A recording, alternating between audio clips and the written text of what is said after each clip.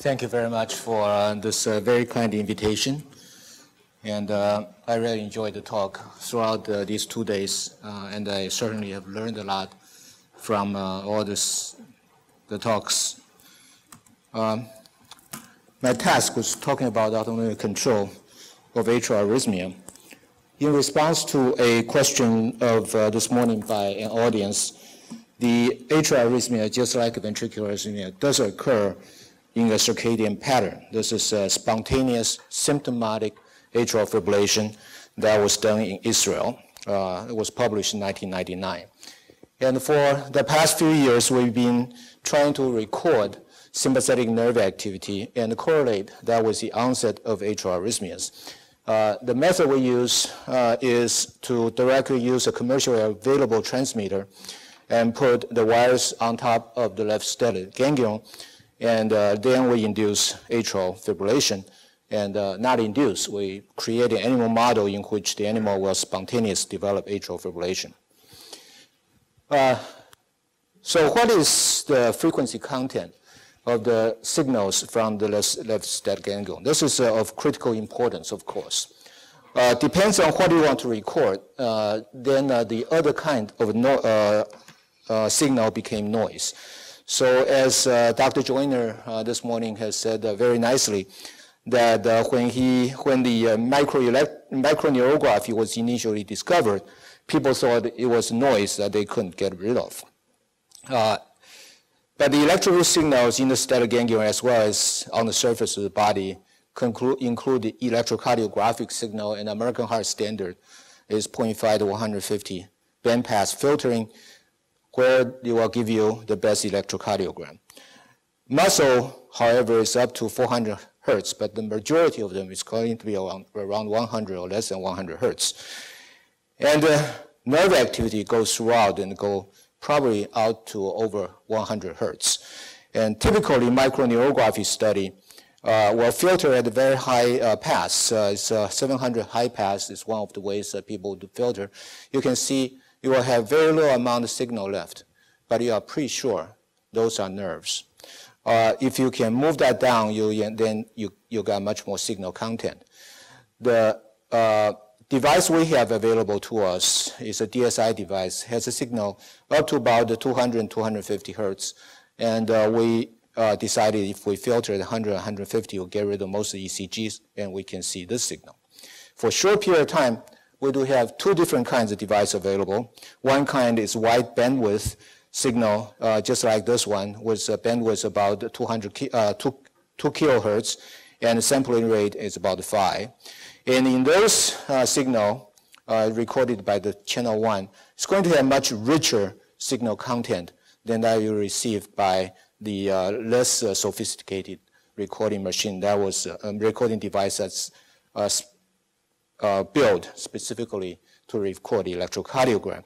But both of them can uh, pretty much detect onset of sinus tachycardia. However, if you blow up the signal 10 times and only the first device will give you the sympathetic nerve activity that triggers this shortening of the R interval. And uh, this, uh, this device completely was unable to make that recording. So this just shows an example of how the filtering of the signal as well as the frequency content of the signal make a significant difference. And we'll come back to discuss that for the majority of my talk. We did discover that in dogs with spontaneous onset of atrial arrhythmias, such as paroxysmal atrial fibrillation, simultaneous discharges from the stellate ganglion and the vagal nerve seems to be the triggering factor of the PAF, and the simultaneous discharge of stellate ganglion and vagal nerve activity seems to be converting the atrial uh, tachycardia into atrial fibrillation.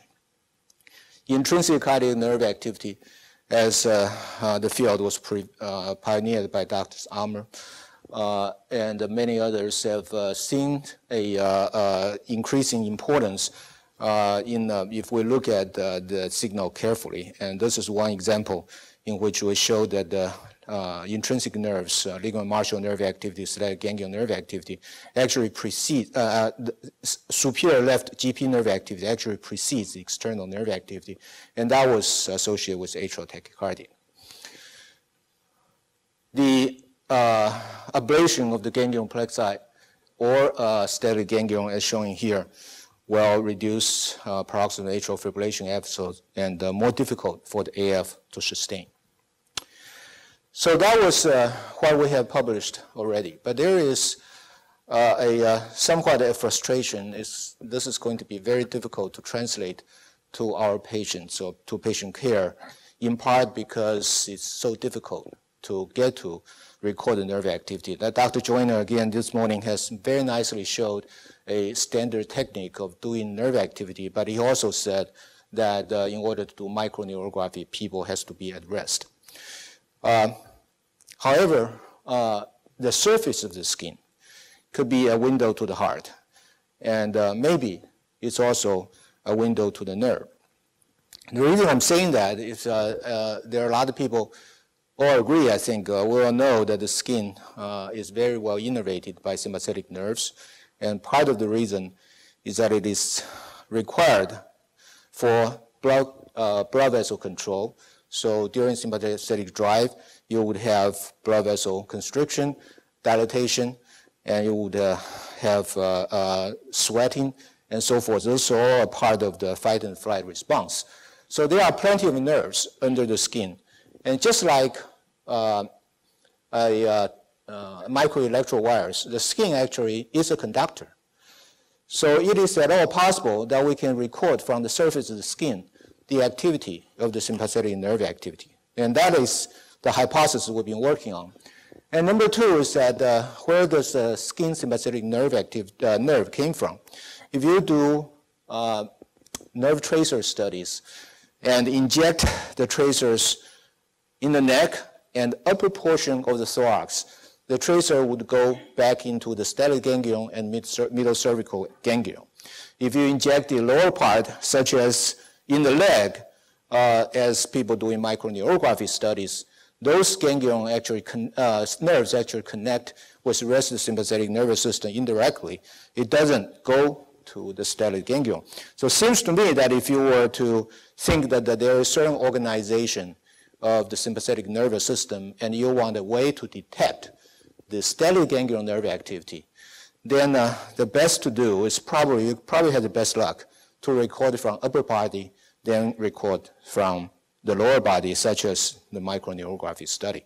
I was trying to ask Dr. Joyner this morning, but my question did not go in. I do know that people have done uh, subcutaneous nerve and the muscle sympathetic nerve recording from the upper body, but I don't know how it correlates with the one recorded from the standard uh, peroneal nerve.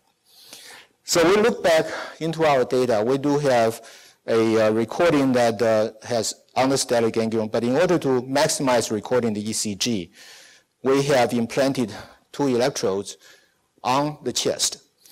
And uh, from the very beginning, that was about 2005, roughly 10 years ago, we see noise. And the noise on the ECG is something we can't get rid of, uh, even with 150 high pass filter. It's just very high frequency noise over here. And that seems to correlate with stellate ganglion nerve activity. And one day just dawned to us that it is possible these are nerve activities. So how about we filter not just the stellate ganglion or vagal channel, how about we filter the ECG channel? So we filter the ECG channel and it became this. This we abbreviated as SCNA or subcutaneous nerve activity as compared with standard abbreviation SSCN, uh, SSNA, or sub, which encodes the same thing, but usually is used by microneurographer to indicate its uh, subcutaneous nerve activity recorded by microelectrode. And uh, to our surprise, we saw that SCNA matches very well with SGNA, but they are not exactly the same.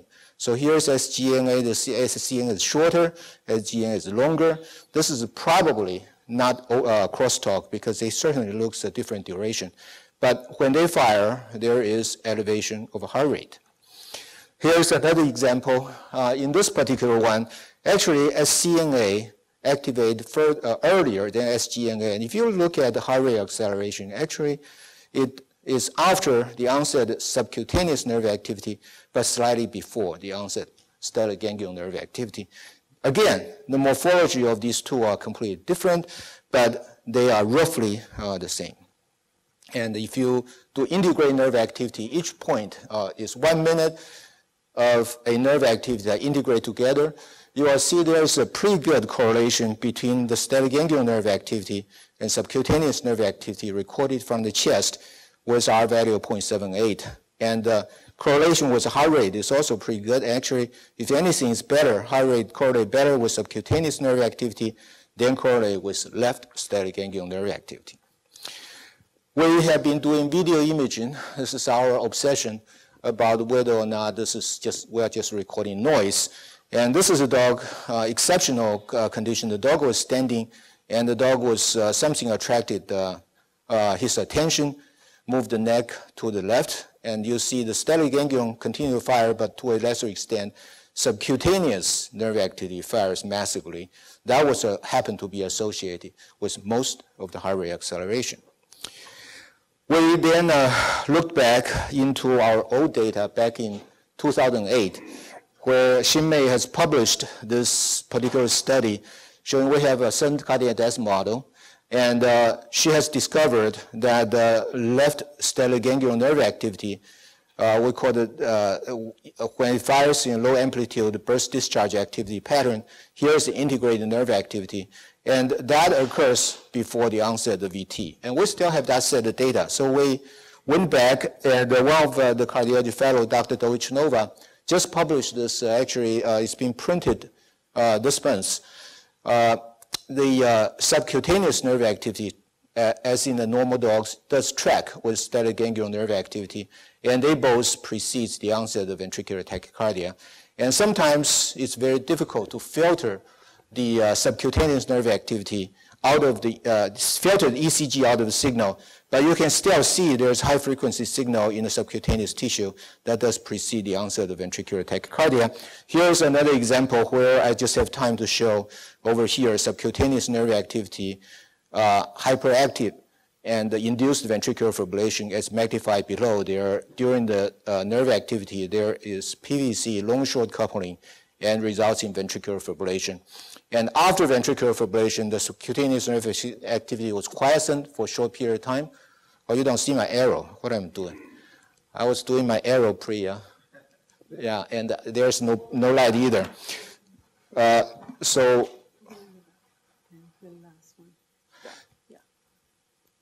okay, there is a, uh, yeah, there is a light over here. Yeah, so there's quiescence, and uh, after the dog has cardiopulmonary arrest, there is a rapid, vast, massive burst of sympathetic discharge. The same thing occurs in the stellate ganglion. If you look carefully, uh, in two dogs, we have this recording. This massive discharge actually was coincidental with VT to VF transition. Uh, here's another uh, episode in which the stellate ganglion nerve activity in the subcutaneous nerve induced ventricular tachycardia, uh, tachycardia and uh, accelerated idioventricular rhythm. And uh, here is uh, an example. It causes frequent bigeminal rhythm. And there was the activity of stellate ganglion and subcutaneous nerve activity that causes PVC or associated with the PVC. If we integrate this nerve activity and look back before the onset of uh, the subcutaneous nerve activity, we saw that there is a crescendo increase over the 60 second period prior to the onset of VT, suggesting that they are somehow related. Uh, we then pro uh, progress to uh, record from the skin. So we thought if the skin is a conductor, there's no reason why we can't record it this on the surface of the skin. And we recorded in, in standard ECG lead 1, standard ECG lead 2, bipolar right and bipolar left, separated by 12 centimeter. But we, in another study, we uh, did uh, separate only by 4 centimeter. We injected apamin, which is uh, SK channel blocker and the neurotoxin, will massively activate right stellate ganglion and also activate simultaneously the skin sympathetic nerve activity. And the, the timing over here is so fast, it's probably not because the neurotoxin has been absorbed and circulated to the skin and causing this activity. And you can see the uh, correlation between the integrated right uh, stellate ganglion nerve activity and integrated skin sympathetic nerve activity was not bad. And there are also pretty good indication uh, relationship with heart rate. And this is on the surface of the dog's skin. The dog is conscious, was gently held by uh, the fellow, and uh, this is in, uh, recorded through a neurotransmitter, implanted neurotransmitter. This is what is recorded on the skin, ECG 1, 2, R, and L configuration. Can see when there is a massive discharge from stellate ganglion associated with discharge on the skin, there is a large acceleration of heart rate. And the correlation was very good. And if you tabulate the correlation among various uh, integrated uh, ganglion, uh, stellate ganglion nerve activity, skin nerve activity, and always heart rate, uh, the R value averages roughly at 0.7, 0.6, 0.5, 0.6, 0.5, 0.7, 0.6, 0.6, 0.5. It's not perfect, but there is a pretty good correlation between what is measured on the surface of the skin and what is measured directly on the stellate ganglion.